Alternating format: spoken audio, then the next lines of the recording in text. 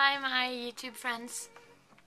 Um, I just have a question for you because I have a lot, for, a lot of different uh, viewers on YouTube, and I was, well, the Norwegian learning people are actually far bigger than everyone else, and I get a lot of requests on doing uh, one-on-one -on -one teaching over Skype or mail and I have said no to this before because it just feels too much for me. But I know that very many of you uh, want to do this.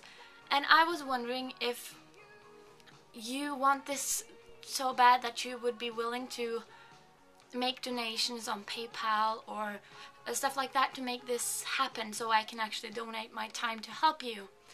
Uh, I don't know if this is something you want, so that's why I'm asking you.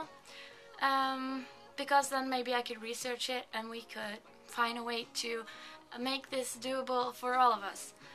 And uh, I've also had some questions about music in Norway. Um, because I always give you my American music. Uh, well, the um, most popular Norwegian music um, nowadays is a band called Donkeyboy. Uh, they're actually, listen to this.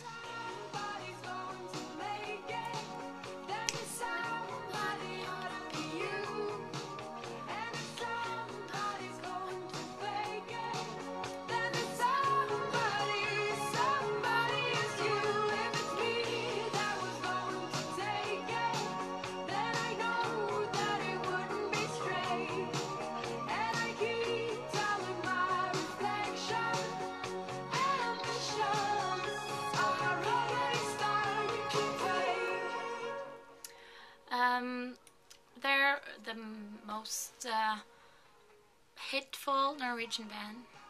They're very uh, known in Britain. Actually, that's what I heard.